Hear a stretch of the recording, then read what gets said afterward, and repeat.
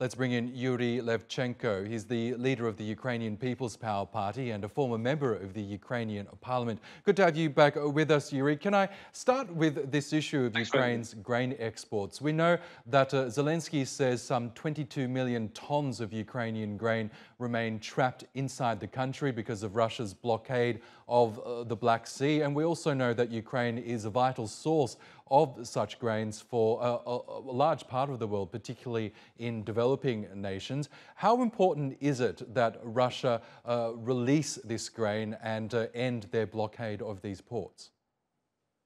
Well, it's extremely important. Obviously, it's extremely important globally speaking, and not just for Ukraine, not just for us uh, for our income and for our budget, but it's important for millions and millions of people around the world, which are reliant and have been reliant for years on Ukrainian grains, on Ukrainian food exports. And obviously, uh, Russia, by its through its uh, absolutely brutal, illegal, unjust, uh, uh, and barbaric war uh, against us, uh, is holding uh, in hostage not just our population, not just killing our people, but now it's uh, uh now it's also basically killing and uh, leading to the hunger of uh, millions and millions of people around the world. and the international community has to call call this what it is. you know, it's I think it's high time we stop using euphemisms and say that Russia is a totally barbaric bordering on Nazi regime, which doesn't care about any anyone or anything else in the world apart uh, of its own uh, Kremlin interests, which are, by the way, uh, where, where against the interests of the Russian people themselves as well. If you're talking about economic interests, and they're just imperialist, uh, crazy stuff.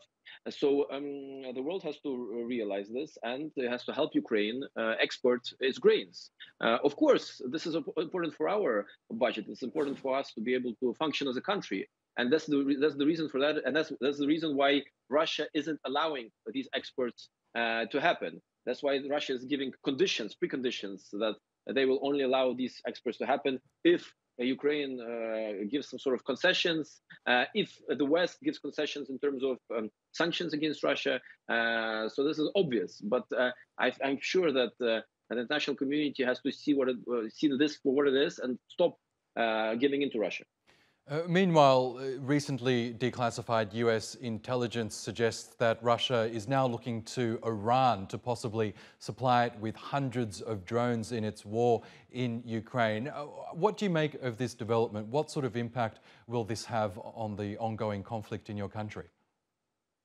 Well, uh, I personally do not believe that this will have a great impact uh, on the front in terms of uh, uh Russia's ability to increase its operations. Uh, we I have to remind our viewers that Russia um, used uh, foreign help before, or at least talked about using foreign help before. For example, they kept on saying that they were going to use thousands and thousands of Syrian mercenaries uh, to help them win uh, the war that didn't help that didn't help them. I mean, they used some of them, but they didn't really change the situation in front dramatically uh, to their favor. Uh, and uh, they they have approached other countries, for example, China, and asked them for.